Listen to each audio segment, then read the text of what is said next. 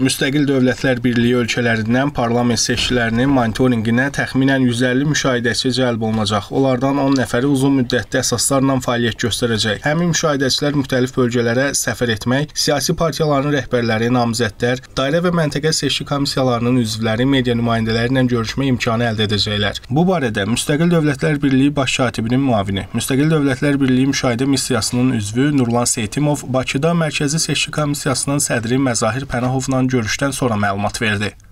Сейчас мы провели содержательную Mərkəzi Seçki Komissiyasının rəhbəri hörmətli Məzahir Pənahovla səsverməyə hazırlığın gedişatına dair əhatəli və çox maraqlı söhbətimiz, fikir mübadiləmiz oldu. Bizə həmçinin dairə seçki komissiyalarının seçkilərə hazırlığı, ümumiyyətlə qanunvericilik, bu prosesləri tənzimləyən ayrı-ayrı məsələlər barədə ətraflı məlumat verildi. Görüş bizim üçün çox faydalı oldu. Görüş əsnasında bu seçki kampaniyasının Azərbaycanda demokratik proseslərin daha da inkişafına töhfə verəcəyinə əminlik ifadə etdik. Artıq seçki kampaniyasının sakit şəraitdə keçdiyini qeyd qeyd edir və bu seçkilərin keçirilməsində Azərbaycan Respublikasına uğurlar arzuluyuruq. Düşünürəm ki, xalqın ən layiqli nümayəndələri parlamentdə layiq olduqları yerlər tutacaqlar. Азербайджанской республики это уже 12-я миссия СНГ по наблюдению за выборами